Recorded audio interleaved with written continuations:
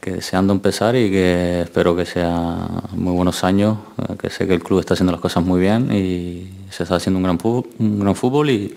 espero, espero aportar mi granito de arena.